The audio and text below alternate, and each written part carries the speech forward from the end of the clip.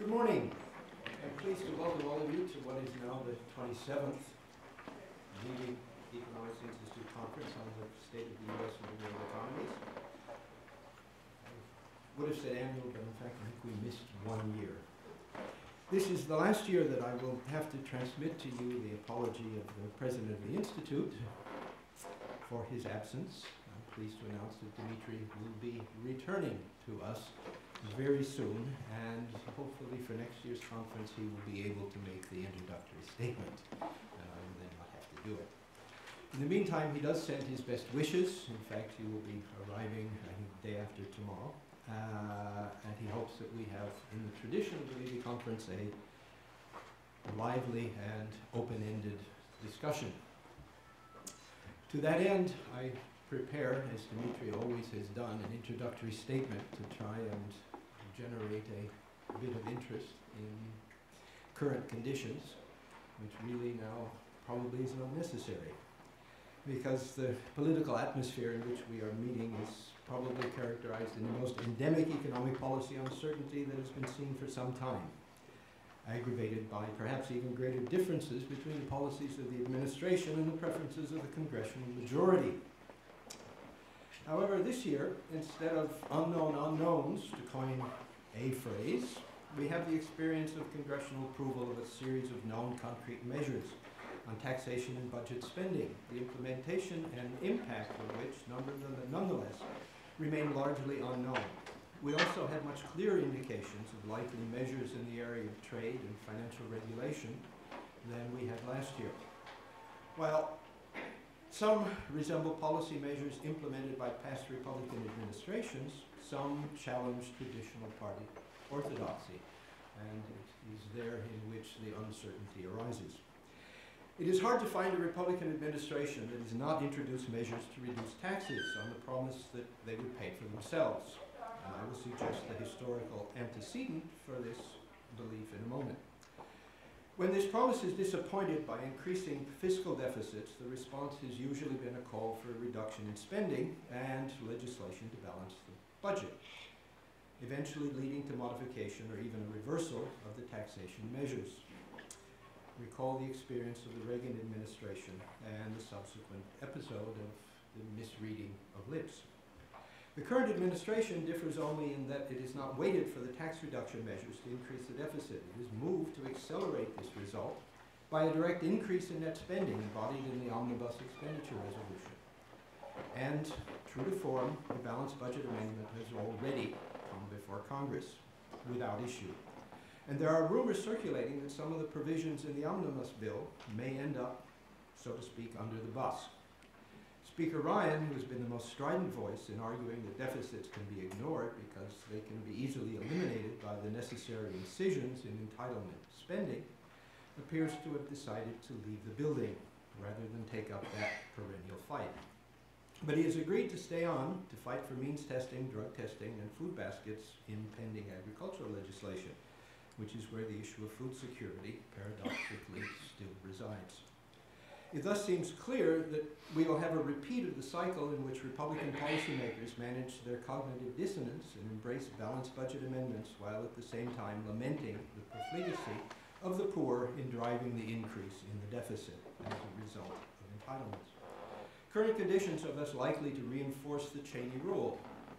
Reagan proved that deficits don't matter and highlight the fact that the point at issue is not the fiscal deficits and the size of the government debt, but rather entitlement spending on non-productive activities.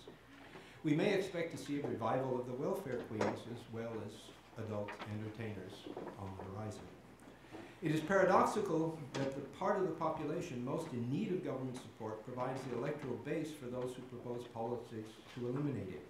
This suggests that while the theoretical case for managing fiscal policy to provide economic stabilization is secure, politically, deficits are probably a non-issue. Given the failure of Congress to manage its budgets economically, monetary policy has become the sole tool of economic stabilization. While tight monetary restraint has been the traditional antidote to rising deficits, the persistent failure of unconventional monetary measures introduced after the Great Recession and the associated contortions of the Phillips curve has made such policy increasingly problematic. After serving as the asset price support policy of last resort in the recovery from the Great Recession, the Fed has become increasingly irrelevant as the length of the recovery achieves historical dimensions. Indeed, in the current administration, monetary policy seems to have reversed its traditional role. The measure of success of the Federal Reserve is no longer controlling the rate of inflation, but rather in promoting increasing equity prices. The new chairman seems determined to continue to edge interest rates slowly upwards channeling Alan Greenspan's belief that it is impossible to identify an asset bubble until it has already collapsed. What seems to have been forgotten in this context is Greenspan's surprise at the bond market's over a half trillion dollar collapse in reaction to his reversal of interest rate policy in the beginning of 1994. This is perhaps the best guide to the market response to rising rates and things may be even more dramatic if, as will be suggested tomorrow, the outstanding debt of private non-financial corporations is an order of magnitude higher than reported in official statistics. The enthusiasm with which the administration views equity prices is confirmation of the success of its policies, and the equanimity of the Fed on equity prices can only be explained by the belief that it is the prospect of a $1 trillion government debt rather than a bond or stock market break which is the greatest threat to financial stability. Somewhat paradoxically, it seems that it is the proposed remedies for the current account deficit that have greater impact on the behavior of the market than monetary policy. Indeed, the market response to the proposed introduction of tariff measures seems somewhat irrational, for it appears that the policy will result in a resuscitation of an old friend, the VER, rather than the imposition of actual tariffs on trade. For those of you who don't remember the experience of voluntary export restraints when Japan was making America poor by stealing automobile jobs and outpacing our consumer electronics industry, anyone here still have a Sony Walkman? Academic assessments concluded that VERs in fact increased prices and profits for both exporters and importers, with the consumer bearing the burden. In the end, it was not the VERs, but the yen shaku that drove Japanese producers to set up production facilities in the US and the rest of Southeast Asia, and which provided the impetus for the geographical distribution of production facilities that created the global supply chains that we now call globalization.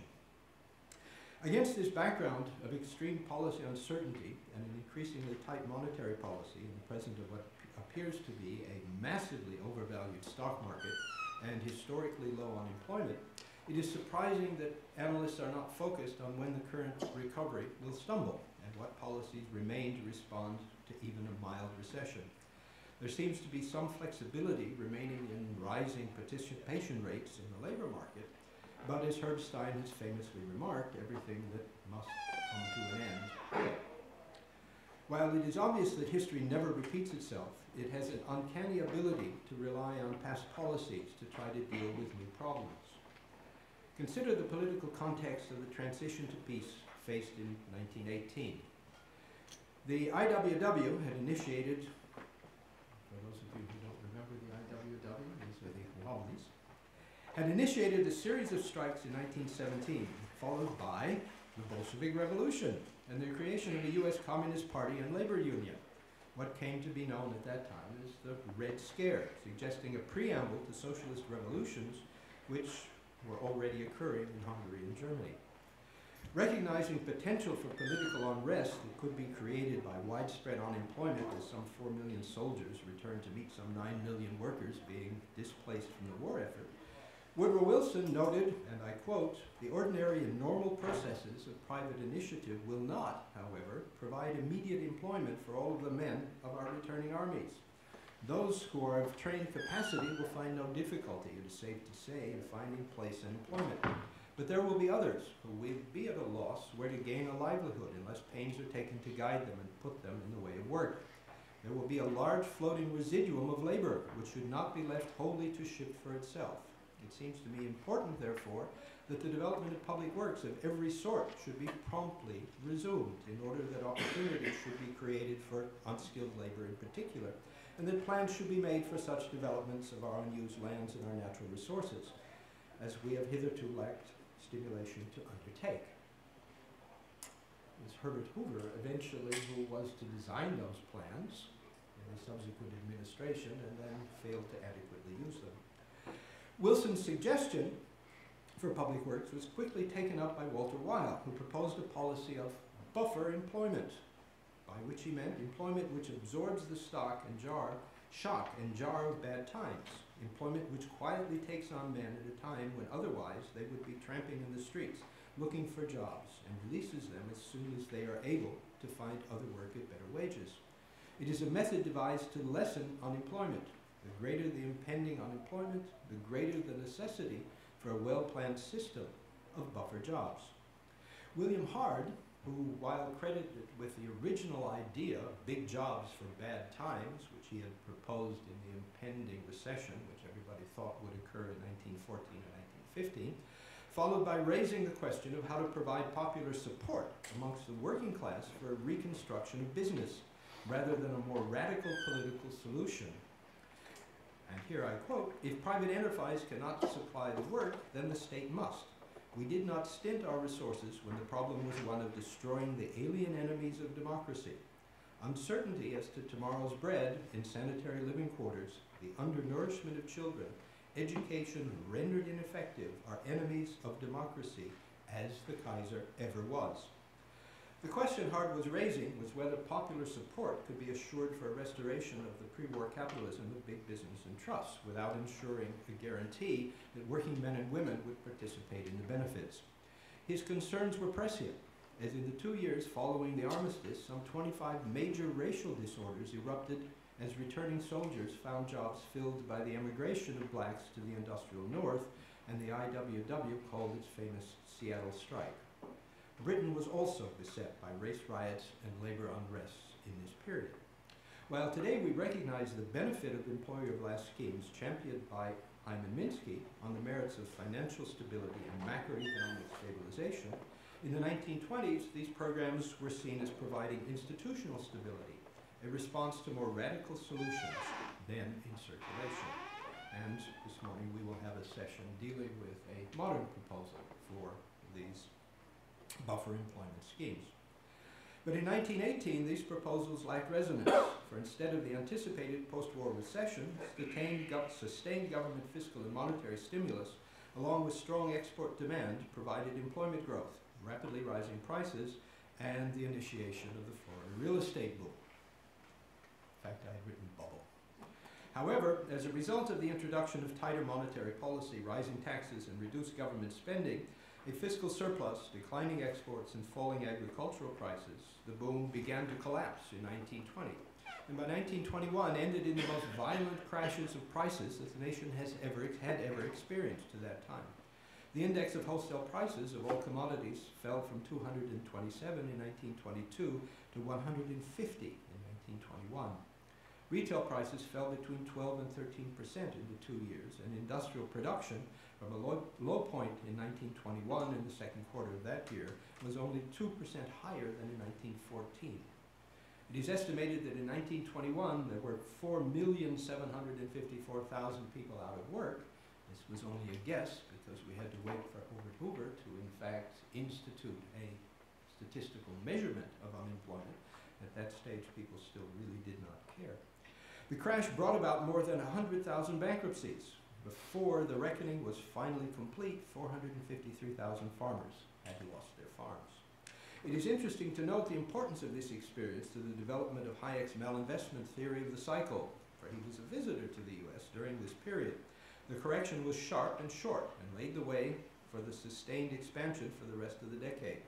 It also provided the support for Secretary of the Treasury Mellon's subsequent advice to Herbert Hoover liquidate labor, liquidate stocks, liquidate the farmer, and liquidate real estate. And the recovery will naturally follow, as he believed it had done in 1921. In 1920, in the early stages of the recession, a Republican administration was elected under the call by Warren Harding for a return to normalcy, which for candidate Harding meant less government in business and more business in government. Normalcy was a catchphrase to forget the political and economic problems of the war and return to pre-war conditions. For Harding, this meant that rather than the threat of political instability due to unemployment, and again I quote, there is not a menace in the world today like that of growing public indebtedness and mounting public expenditures. An interesting idea when we recall that one of the first measures of the new administration was legislation against lynching. In the face of the developing collapse, the economic policy of normalcy involved both substantial reductions in tax rates, proposed by Secretary Mellon, as well as an increase in tariffs. These last two items are of, special interest. The first because the recovery represents the justification for the Republican position that tax cuts pay for themselves. The top marginal rate, which had been increased after the war, was reduced stages from 73% in 1921 to 25% in 1925, and the federal deficit fell by half. The unemployment rate that Weyl and Hard were so worried about and had peaked at 12% on their measurements was to fall to just over 3%. While this rendition of events happily ignores the impact of technology on consumption and investment in the period, it also ignores two other factors. The first is that despite the Cato Institute's claim to the contrary, conveniently forgetting the Federal Highway Act, the knock-on to consumption of expanding ownership of automobiles, electrification and radio, and the beginning of commercial aviation, amongst other contributors to the age of mass production and consumption, the Mellon tax cuts did not lift all boats equally. The share of fiscal income of the top 10% of the income distribution increased from 44% to roughly a 50% share, equivalent to that recorded in the United States in 2015. Despite the roaring success of normalcy, the Florida real estate bubble collapsed in 1925, and collapsing commodity prices led to desperation in the farm sector. With the result that although the stock market was booming, the financial system recorded rising numbers of bank failures, topping at nearly 1,000 in 1926, of mainly small local banks that suffered from the depression in agricultural prices and the collapse of the post-war real estate boom. Finally, the approval of the Fordney-McCumber Tariff Act, which replaced the 1921 emergency tariff and produced an average tariff of nearly 50% on most dutiable goods, created an international disruption that made war reparations more difficult and contributed to the flows of capital from the US to Europe, which was used to meet reparations and laid the groundwork for the collapse of the European banking system in 1931. Given the need of indebted countries to run trade surpluses to meet debt service, the tariffs were met with widespread and targeted retaliation. Does it sound familiar? In particular on automobiles. This is, of course, the context of Keynes' economic consequences of the peace and the discussion with Ohlin of the transfer problem. Thus, the policies so far introduced by the current administration appear to follow the Harding-Mellon playbook on taxation and trade policy. Curiously, there are a number of other similarities. Although Trump cannot be accused of a return to normalcy, in terms of new technologies, the period was certainly destructive, if not disruptive. The current policy of energy dominance brings to mind the Teapot Dome scandal and the first conviction of a sitting cabinet minister. Harding also had difficulties with his cabinet choices and a penchant for appointing relatives to government positions. Major scandals erupted in the Department of the Interior, the Veterans Bureau, the activities of the Attorney General, and even touched the head of the Federal Reserve, who was subsequently indicted for fraud. And then there was the problem of his mistresses, and an inability to control the public airing of his extramarital affairs. As to the social impact, George Soule, who was a chronicler of the, chronicler of the period, notes the Ku Klux Klan for a time built a tremendous organization on the aimless unrest, foreshadowing the Nazi movement in Germany by mobilizing his hostility against Jews, Negroes, and Catholics. Technology produced countless new gadgets in increasing numbers while it added to the insecurity of employment. It would appear that there is little difference in the basic economic and social policies employed by the return to normalcy and the recent introduction of economic nationalism to make America first. Last year's introduction to this conference drew a parallel between the New Deal policies to respond to the needs of the forgotten man who had lost self-confidence and who had given up the ability of government to remedy his distress, noting that Trump had channeled this approach appealing to those eventually de- described by the Democratic candidate as deplorables. Marx would have said lumpen proletariat, Kant would have called them rabbles, or in the French Revolution they would have been the sans-culottes, who believed that they have been passed over by changes in technology and global supply chains, with their jobs taken by immigrants or foreigners, and playing on the belief that government had abandoned them in favor of globalist elites more interested in regulations to defend disappearing frog species and watercourses that closed mines, or to impose the right to eat cake and use bathrooms at will. Thus, instead of restoring confidence in the ability of government to remedy and support, this resentment has been channeled to the coastal elites in the government, immigrants, foreign competition, more or less in that order. Instead of presenting the government as the savior, the government has become a swamp-infested enemy.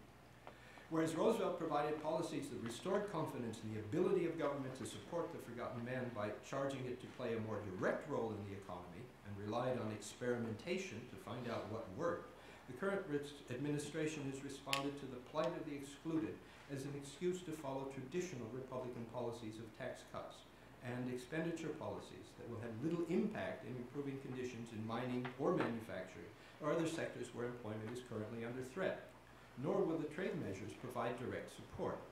While rants against immigrants and elites provide support to the resentment felt at the abandonment by government, they do little to improve the conditions that have produced support for restoring coal, draining the swamp, and building the wall. Comparison with the Wilson and Roosevelt policies suggests that it is only by providing more direct governmental measures of support to the marginalized population can we provide political stability. Following the traditional Republican mantra of reducing the size of government and the scale of social entitlements seems in direct contradiction to the promises that have been made. Future policies will depend on the pressure to reverse this strategy and to restore these policies, as well as determining the political evolution that it will generate. Whether Republicans or Democrats respond with direct measures cannot be foreseen. What can be foreseen is the possibility that the evolution of AI and robotics will expand the ranks of the deplorables. The response that is currently on offer is universal basic income. One proponent, when asked if this would not run counter to the need to contain government deficits, it was responded that the deficits would in fact be negligible, since prices would fall substantially. Given that the current administration cannot engineer policy that expands entitlements for the deplorables, it seems unlikely that any future administration would be willing or able to do so in order to offset the impacts of AI and robotics. But this is not the major problem, which will be the ownership of low maintenance, non labor means of production and the financial conditions for their creation. As Minsky insisted, capitalism is a system in which the control over the means of production, whether it's machines or robots, takes place by borrowing. What raises the question of how these debts will be validated, and if there is no debt, how profits will be supported. These basic questions that fall under the rubric of Minsky's concern for financial fragility, or perhaps money manager capitalism, will soon be replaced by robot capitalism. Our conference panels and speakers will address a number of these issues, starting with the short-term outlook and then evaluating the possibility of a modern buffer employment scheme along the lines proposed by Hyman Minsky. We will also investigate monetary and trade policies, as well as the underworld of debt accumulation on a national and global scale, as an indication of the underlying financial fragility that may be unleashed by this policy volatility. As you are all aware, there is a Minsky cycle that pervades the profession which is to forget about him in the good times and trot him out when the crash comes, pretending that you really saw it coming all along. One of the major objectives of the Levy Institute is to keep thinking about Minsky in good times, because that is when he is relevant and measures can be taken to remedy fragility. After the crisis breaks, not so much. It is interesting that the retiring head of the PBOC, Zhou Xiaochuan, has recently tried to alert policymakers in China to the importance of Minsky and to think about him before the crisis. As in past years, we invite you to take a look at our website or take with you some of our publications that are available at the back of the room, and would very much welcome your comments. In addition, in closing, I would like to draw your attention to the Institute's graduate programs in economic theory and policy. Next year, our two-year Master of Science will be complemented with a one-year Master of Arts. We encourage you to bring it to the attention of any students interested in the alternative approach to economic theory and policy offered on the basis of the work of Hyman Minsky and Wynne Godley that we offer here at the Institute. So finally, I welcome you. You can look forward next year to Dimitri offering you a slightly different introduction. I hope you enjoy the conference. We hope you will find the presentations and discussions thoughtful, and I thank you very much for your attention.